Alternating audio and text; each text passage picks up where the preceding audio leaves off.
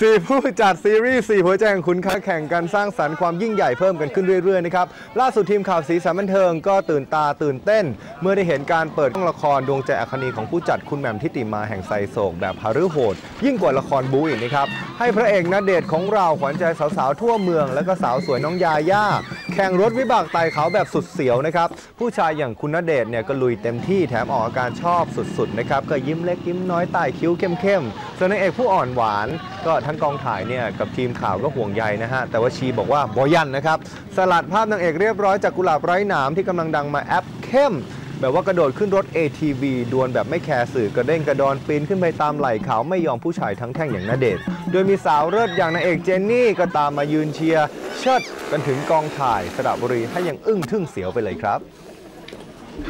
ครับวันนี้ก็มาถ่ายกันที่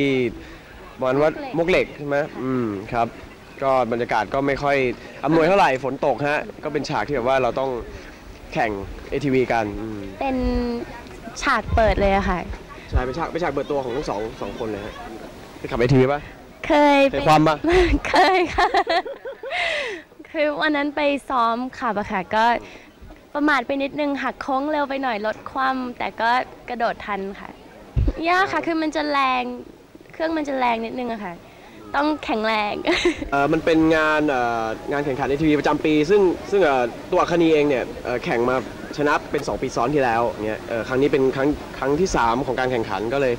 เอ่อประมาณว่าแทนที่ไอศิลาเนี่ยจะลงมาแข่งแทนกลับเป็นไอจีดแทนอะไรอย่างเงี้ยฮะอืม ใช่ค่ะ คือ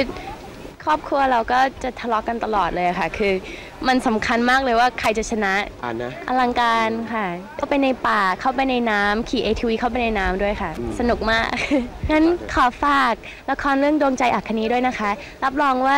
ซีนทุกซีนอลังการมากเลยค่ะ โดยเฉพาะฉากที่แข่ง ATV กันค่ะ